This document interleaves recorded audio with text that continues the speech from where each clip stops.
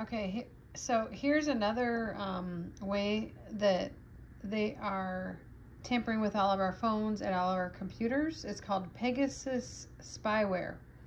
It was developed by Israel Cyber Arms Company. Okay, this is uh, Israel is part of all of our um, all these hacks going on. All, Israel is part of all of these. Uh, hacks that we have going on here. These are cyber attacks. I believe this company is involved. Pegasus Software, uh, spyware developed by Israeli cyber arms company NSO Group that is designed to be covertly and remotely installed on mobile phones running iOS and Android.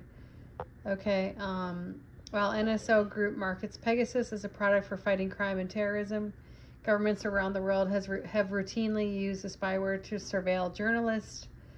Oh yeah. Well, okay. Really, is that legal? Law, lawyers, political dissidents, and human rights activists. In other words, whistleblowers like me have Pegasus spyware on our phones. Okay, so this is uh, probably who's doing this to me right now. Um, I've constantly have my phone and my computer um, under surveillance illegally. So it's it has to do with Israel, um, and they I'm sure were a part of all the hacks that just happened to us. Okay, um, let's see. Trying to bring this down here. What else does it say? Okay. Pegasus operators were able to remotely install the spyware on iOS versions through 16.0 using zero click exploit. While the capability of Pegasus may vary over time due to software updates, Pegasus is generally capable of reading text messages, call snooping, collecting passwords, location tracking, accessing the target's device's uh, microphone and camera and harvesting information from all of your apps. Spyware is named after Pegasus, the winged horse of Greek mythology. Cyber uh, Watchdog, um, Citizen Lab, Lookout Security published the first public technical analysis of Pegasus in August 2016 after they captured the spyware in a failed attempt to spy on the iPhone of a human rights activist. Okay, they're you know human rights activists are basically like whistleblowers. You know they're they're targeting the whistleblowers like me. Clearly, I, I've had my I have my phone and I have them. You know they might be a part of pinging my calls to different cell phone towers. You know different things like that as well. Half the time my phone doesn't work. I don't know why I bother paying my. You know I pay like a hundred dollars you know a month for my phone my iphone uh, which is supposed to work. Why, you know, so is Verizon know about this? You know, I mean, seriously, why would I bother paying for my phone with half the time you're allowing my phone to be hacked?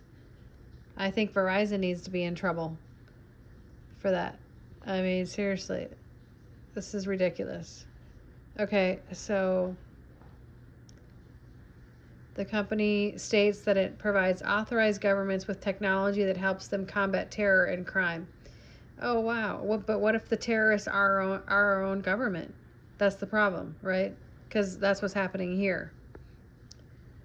Um, NSO Group has published sections of contracts which require customers to use its products only for criminal and national security investigations and has stated that it has an industry leading approach to human rights. Oh, yeah. Mm hmm. Let's see. I'm trying to just bring it down here. Okay.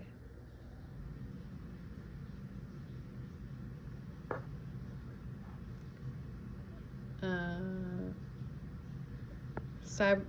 Spyware can be installed on devices running certain versions of iOS, Apple's mobile operating system, as well as some Android devices. Rather than be a specific exploit, Pegasus is a suite of exploits that uses many vulnerabilities in the system. Okay. Okay, so there we go. This is where a lot of the hacking is coming from, this Pegasus software. So they can hack into iPhones and Android devices. Okay, so and they can um, listen to you and hack your mobile device and uh, various different things. So I I um, removed my app from my phone, uh, but somehow they were able to hack me um, again into my bank. They just hacked into my bank today. So I'll do a video about that.